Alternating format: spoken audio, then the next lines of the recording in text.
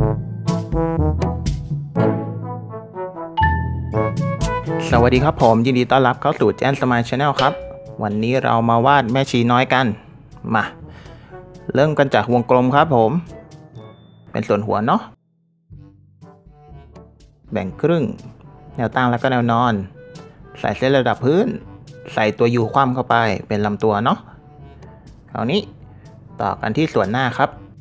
หน้าให้เป็นส่วนแก้มป่องๆนิดนึง ประมาณนี้นะครับ ใส่หู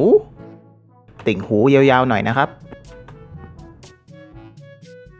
ต่อด้วยตาใส่เป็นตัวยูคว่ำครับผม ใส่หางตาหน่อยนึง ปากอมยิ้มหน่อยๆ เป็นตัวยูครับผม แล้วก็ใส่โคนผมเนาะประมาณนี้ มา ปรับเส้น ตรงลำตัวหน่อยนึง ให้เข้ามานิดนึงนะครับ รู้สึกมันจะกว้างไปหน่อย ใส่ริ้วของจีวรสีขาว อ่า นิดเดียวพอนะครับ มา แล้วเราก็มาตัดเส้นปากกากันเลย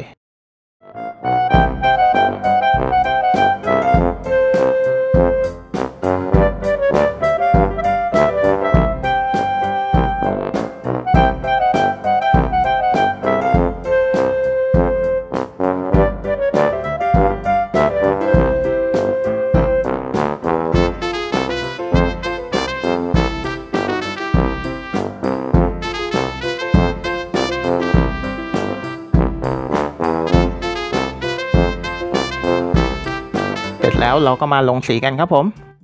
เริ่มจากสีเนื้อก่อนนะครับ ลงในส่วนหัวให้หมดเลย ทั้งส่วนที่เป็นเส้นผมด้วยเนาะแล้วก็ส่วนหน้าด้วย เป็นเงาสะท้อนไว้หน่อยนึง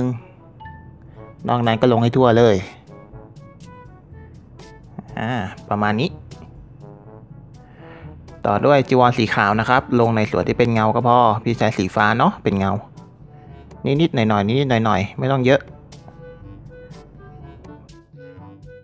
ประมาณนี้นะครับ ต่อด้วยพื้นหญ้าสีเขียว ใส่เงาบนพื้นหญ้าหน่อยนึง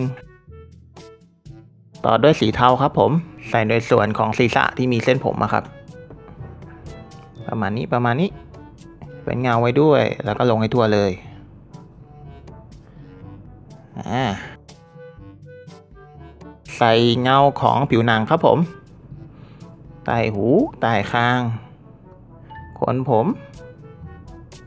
ใต้ตาหน่อยนึง ต่อด้วยเงาของเส้นผมครับ นิดเดียวพอครับผม แล้วสุดท้ายแก้มแดงๆน่ารักน่ารักของเราอ่าสุดท้ายพี่ขอปรับหัวไหล่หน่อยนะครับ รู้สึกจะตั้งไปหน่อย ประมาณนี้นะครับแม่ชีน้อยของเราแป๊บเดียวก็วาดเสร็จเนาะ สำหรับคลิปนี้ขอบคุณที่รับชม ขอบคุณที่ติดตาม ขอโทษที่หายไปนาน แล้วเดี๋ยวจะลงคลิปทีๆรัวๆบ่อยๆแล้วสำหรับคลิปนี้ขอบคุณครับผม สวัสดีครับ